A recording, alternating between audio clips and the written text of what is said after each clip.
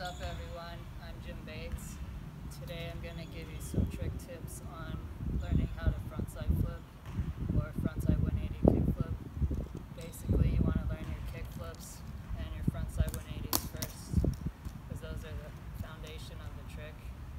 And then you're going to want to place your feet the same as the kick flip. front foot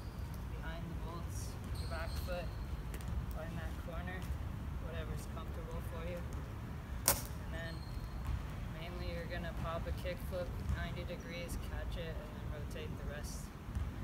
So basically kickflip, catch, and then rotation. And if you're doing it on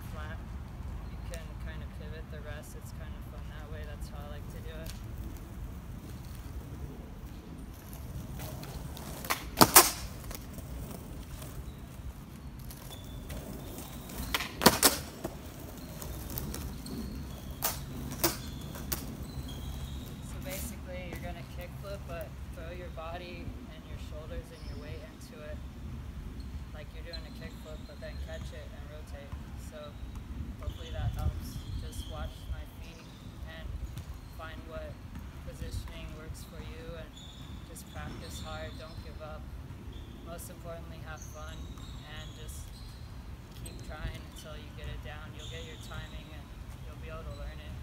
Just keep working.